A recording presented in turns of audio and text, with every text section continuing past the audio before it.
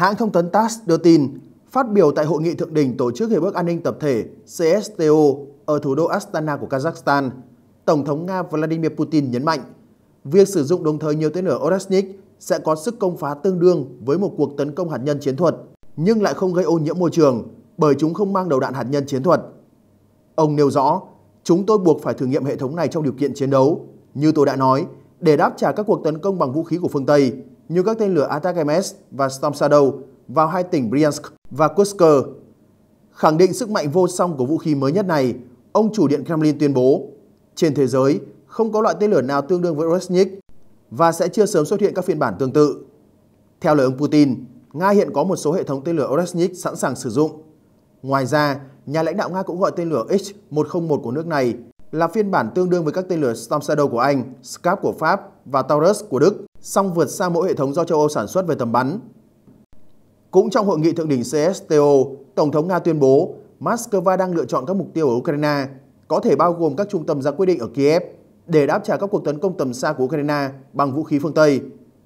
Ngoài ra, ông Putin thông tin, Nga đã tiến hành một cuộc tấn công toàn diện với 100 tên lửa các loại và 466 máy bay không người lái UAV vào Ukraine trong hai ngày qua để đáp trả các cuộc tấn công liên tục bằng vũ khí do phương Tây cung cấp cho Kiev. Bên cạnh đó, ông Putin cũng nhắc tới Tổng thống mới đắc cử của Mỹ Donald Trump. Tổng thống Nga Putin cho biết, ông Trump đã vượt qua thách thức thực sự để trở lại Nhà Trắng. Ông chủ điện Kremlin bày tỏ bất ngờ với những diễn biến trong cuộc bầu cử Tổng thống Mỹ năm nay và chỉ trích những biện pháp thiếu văn minh được sử dụng để đối phó ông Trump, gồm cả những âm mưu ám sát. Theo quan điểm của tôi, ông ấy đang không an toàn. Không may là nhiều sự việc từng xảy ra trong lịch sử Mỹ. Tôi nghĩ ông Trump là người thông minh và hy vọng ông ấy thận trọng, hiểu được vấn đề này.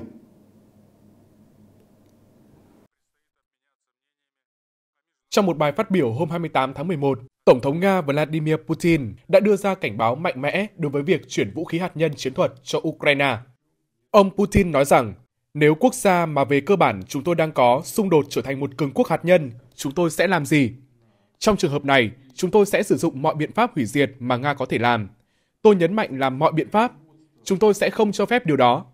Theo đó, ông Putin cho biết Moscow sẽ sử dụng mọi vũ khí có trong tay để đối phó với Ukraine nếu Kiev sở hữu vũ khí hạt nhân chiến thuật.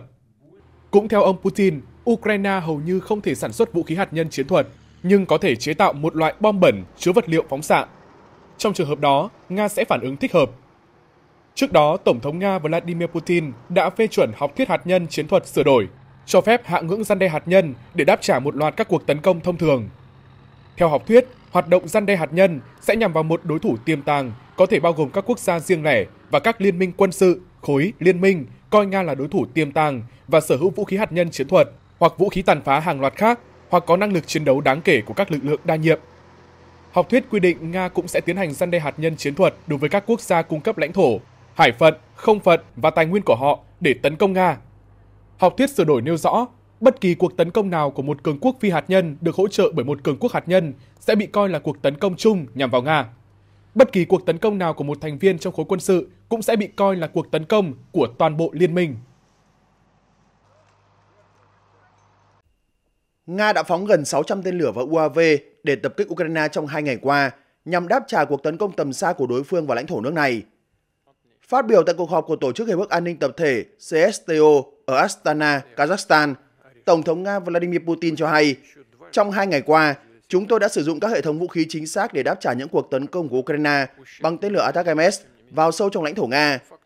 Chúng tôi đã sử dụng tổng cộng 100 tên lửa các loại và 466 UAV.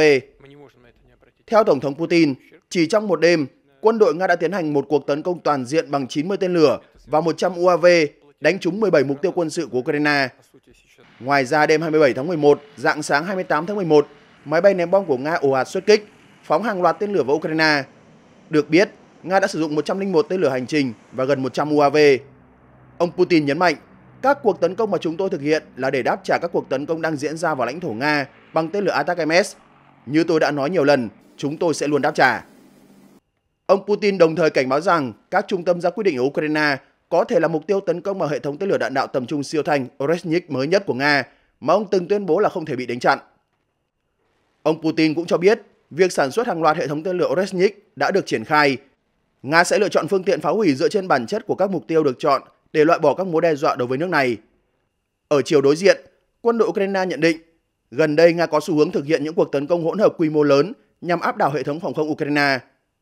Hơn nữa, Nga áp dụng các phương pháp tấn công trên không mới liên tục được cải tiến như sử dụng mồi nhử, sử dụng thiết bị bảo vệ tác chiến điện tử được lắp trực tiếp trên tên lửa. Điều này cản trở khả năng tác chiến của các hệ thống phòng không Ukraine được sản xuất từ thời Liên Xô. Các hệ thống phòng không phương Tây ứng phó tốt hơn, nhưng Ukraine lại không có đủ để bảo vệ hàng trăm cơ sở hạ tầng quan trọng. Tạp chí Responsible Statecraft đưa tin việc Nga sử dụng tên lửa loại mới Oresnik cho thấy vũ khí của Nga vượt trội hơn đáng kể so với các hệ thống tấn công mà Ukraine sử dụng với sự cho phép của các đồng minh.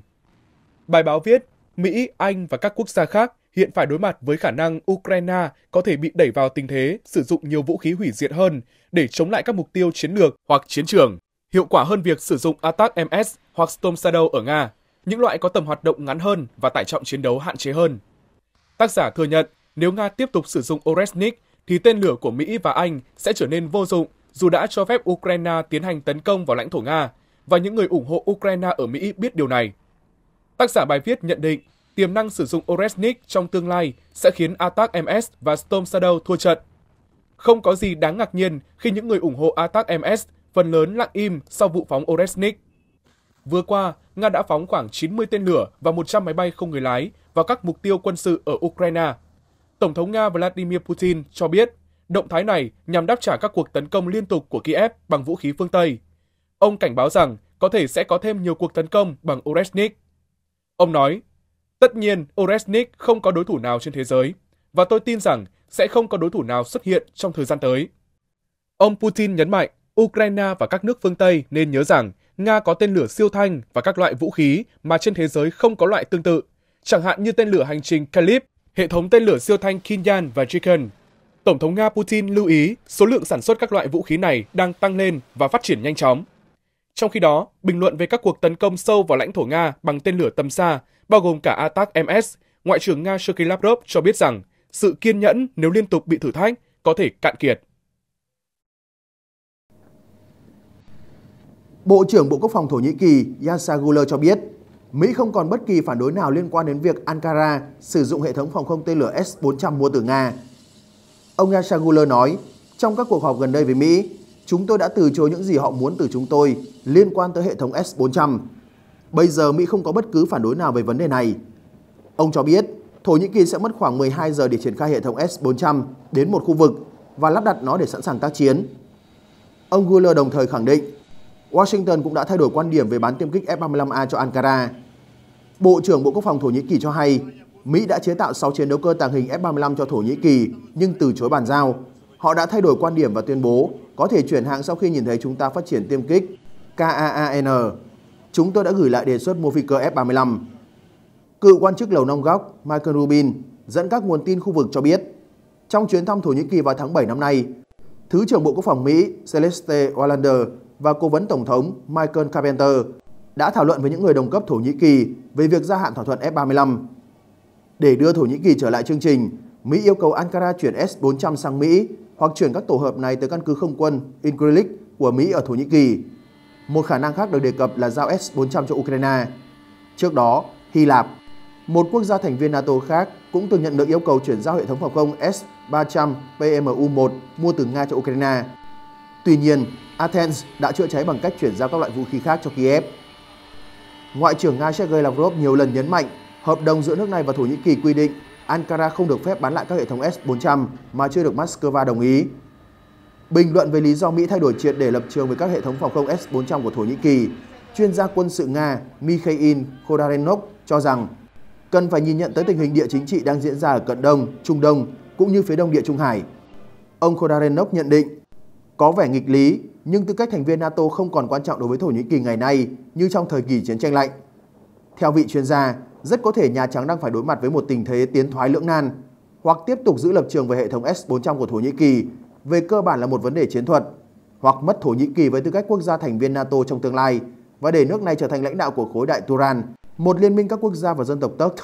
Bên cạnh đó, Thổ Nhĩ Kỳ đã nộp đơn xin gia nhập nhóm các nền kinh tế mới nổi BRICS có sự tham gia của Nga và cho thấy các động thái tiếp cận Trung Quốc. Ông Khodarenov cho rằng Washington sau khi cân nhắc tất cả các yếu tố địa chính trị hiện có đã quyết định nhượng bộ trong vấn đề chiến thuật để trong tương lai không mất đi một đồng minh NATO ở sườn phía Nam và cũng không để Ankara xuất hiện trên bản đồ chính trị thế giới ở một vai trò hoàn toàn mới. Cũng theo vị chuyên gia, không loại trừ khả năng nhiều vấn đề trong hợp tác quân sự giữa Mỹ, Thổ Nhĩ Kỳ sẽ được xem xét lại trong thời gian tới. Ông Khodarenok nhận định, có lý do để tin rằng lập trường Washington trong những vấn đề này sẽ dịu đi đáng kể. Hãng thông tấn Kyodo của Nhật Bản cách đây ít lâu đưa tin cho biết Washington có kế hoạch triển khai các đơn vị tên lửa đến quần đảo Nansei thuộc các tỉnh Kagoshima và Okinawa ở phía tây nam Nhật Bản và đến Philippines. Theo đó, Nga mới đây đã cảnh báo nếu Mỹ triển khai tên lửa ở Nhật Bản, điều này sẽ đe dọa an ninh Nga và buộc Moscow phải đáp trả, trong đó không loại trừ biện pháp răn đe hạt nhân chiến thuật. Cụ thể, người phát ngôn Bộ Ngoại giao Nga Maria Zakharova cho biết –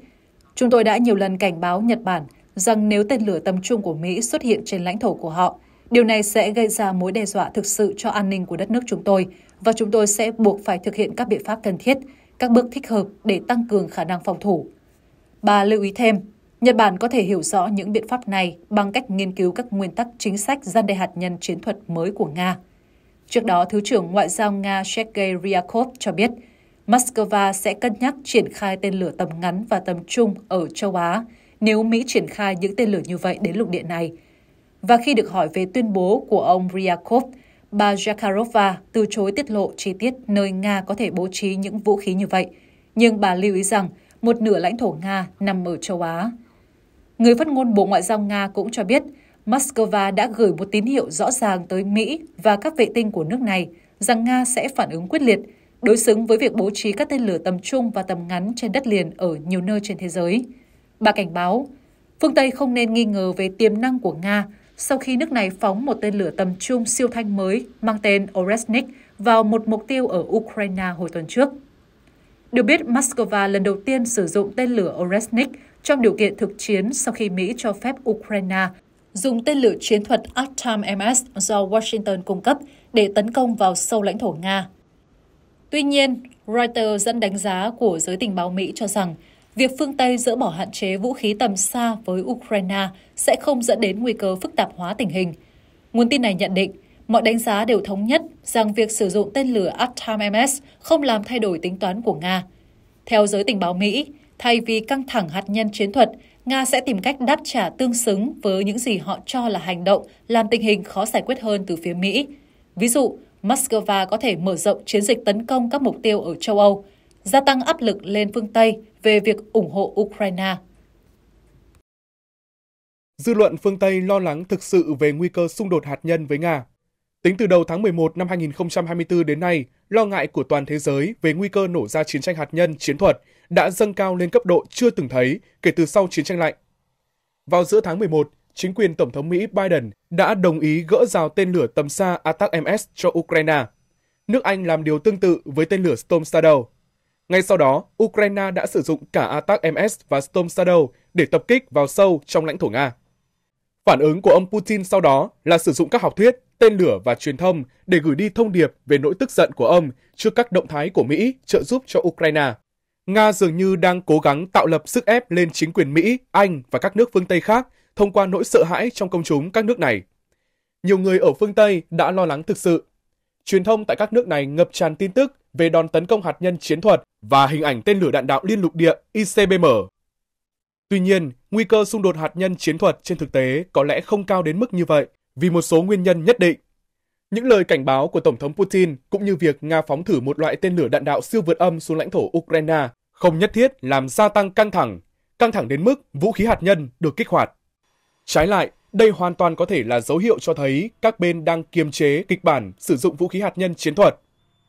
Việc Nhà Trắng mới đây bất ngờ đảo ngược lệnh cấm đối với cách Kiev sử dụng tên lửa tầm xa của Mỹ cho thấy họ khá tự tin rằng Nga sẽ không đáp trả bằng đòn tấn công hạt nhân chiến thuật nhằm vào Ukraine và bất cứ nước NATO nào. Còn có một yếu tố nữa khiến chính quyền Mỹ tự tin, đó là bản chất nguy hiểm thực sự của chiến tranh hạt nhân chiến thuật mà cả Mỹ và Nga đều ý thức rõ. Hai nước đều có những động lực mạnh để liên lạc chặt chẽ và rành mạch với nhau, ngay cả trong những hoàn cảnh khó khăn để bảo đảm an toàn, an ninh hạt nhân. Ngay từ đầu xung đột Ukraine, Washington đã nói rõ với Moscow về hậu quả nặng nề mà họ sẽ phải đối mặt nếu lựa chọn sử dụng vũ khí hạt nhân chiến thuật. Các chi tiết về thảm kịch dự kiến này vẫn đang nằm trong vòng bí mật. nhưng chính quyền Tổng thống Mỹ Biden đã công khai cảnh báo hồi năm 2022 về hậu quả thảm khốc đối với Nga nếu bất cứ dạng vũ khí hạt nhân chiến thuật nào được Nga kích hoạt. Và cách tiếp cận này của Mỹ có vẻ đã phát huy tác dụng. Nhu cầu tránh nguy cơ hiểu lầm gây hậu quả chết người đã lý giải vì sao Nga lại thông báo trước cho Mỹ về đòn tập kích bằng tên lửa đạn đạo Oresnik, cũng như nói rõ cho Mỹ rằng tên lửa này không mang đầu đạn hạt nhân. Cả hai nước Mỹ và Nga muốn có sự liên lạc và đối thoại minh bạch về mọi tình huống liên quan như việc phóng tên lửa siêu vượt âm, vì họ cùng hiểu rằng bất cứ sự hiểu lầm nào cũng có thể nhanh chóng dẫn tới gia tăng căng thẳng, thậm chí có thể kích hoạt một cuộc xung đột hạt nhân chiến thuật ngoài ý muốn. Năm nguồn tin gần gũi với tình báo Mỹ gồm hai quan chức cấp cao, một nghị sĩ và hai trợ lý nghị sĩ, mới đây cũng chia sẻ rằng, sau vụ gỡ rào ATAC-MS, nguy cơ Nga tấn công hạt nhân chiến thuật không thực sự tăng. Một loạt đánh giá tình báo trong 7 tháng qua cũng kết luận rằng ít khả năng có phát triển thành xung đột hạt nhân chiến thuật do tác động từ việc Mỹ nới lỏng sử dụng tên lửa ATAC-MS cho Ukraine. Tuy nhiên, các nguồn tin này xác nhận rằng, thay vào đó, Nga có thể mở rộng một chiến dịch ngầm nhằm vào các mục tiêu châu Âu để gia tăng áp lực lên phương Tây, ngăn cản họ hỗ trợ Ukraine. Cuộc đấu ngầm của Nga mà phương Tây đề cập ở đây là những hoạt động phá hoại ngầm và tấn công mạng trong khuôn khổ một cuộc đấu tranh tổng hợp do Nga tiến hành để đối phó với sự hậu thuẫn của phương Tây dành cho Ukraine. Vừa qua, Tổng thống Liên bang Nga Vladimir Putin đã tiết lộ khả năng của tên lửa đạn đạo siêu vật âm tầm trung Oreshnik loại vũ khí mà Moscow đã sử dụng để tấn công mục tiêu quân sự ở thành phố Dnipro của Ukraine. Ông cho biết tên lửa đạn đạo siêu vượt âm tầm trung Oreshnik có khả năng tấn công mục tiêu là những cơ sở kiên cố, được gia cố và nằm sâu dưới lòng đất. Tổng thống Liên bang Nga nói, hãy để tôi nhắc lại một lần nữa cách tên lửa Oreshnik hoạt động, vì các bạn đã hỏi. Hàng chục đầu đạn tự dẫn tấn công mục tiêu với tốc độ 10 Mach, tương đương với khoảng 3 km một giây. Nhiệt độ mà tên lửa tạo ra khi tấn công đạt đến 4.000 độ C. Nếu tôi nhớ không nhầm, Nhiệt độ trên bề mặt mặt trời là khoảng từ 5.500 đến 6.000 độ C. Vì vậy, mọi thứ nằm trong trung tâm vụ nổ mà tên lửa Resnik tạo ra bị chia nhỏ thành các phân tử cơ bản. Về cơ bản là biến thành cát bụi. Trong vòng chưa đầy một tuần, đây là lần thứ hai ông Putin nhấn mạnh rằng tên lửa đạn đạo siêu vượt âm tầm trung Oresnik có sức mạnh hủy diệt tương đương với vũ khí hạt nhân chiến thuật và có khả năng hóa bụi mọi thứ tại điểm bị nó tấn công. Tổng thống Nga Putin cảnh báo quân đội Nga đang lựa chọn các mục tiêu ở Ukraine để có thể tiến hành thêm các cuộc tấn công bằng tên lửa đạn đạo siêu thanh Oreshnik. Nhà lãnh đạo Nga cho biết trong một cuộc họp với các đồng minh khu vực quan trọng của Moscow tại Astana, Kazakhstan, các mục tiêu có thể là trung tâm ra quyết định.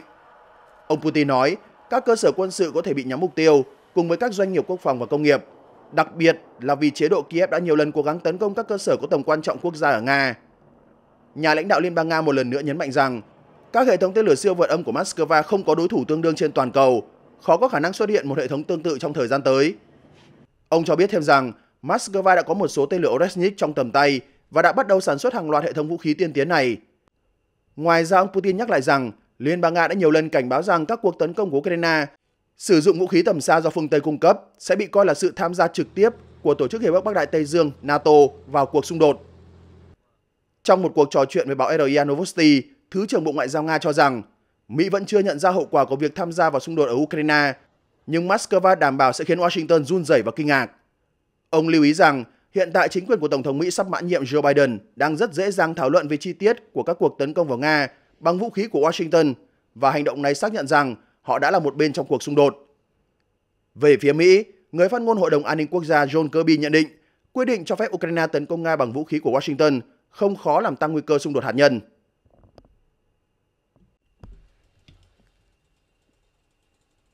Thời gian qua, Nga đã tiến hành nhiều đợt không kích nhằm vào các cơ sở hạ tầng năng lượng của Ukraine, nhất là trong bối cảnh phía Nga đang tiếp tục áp sát tiền tuyến phía đông.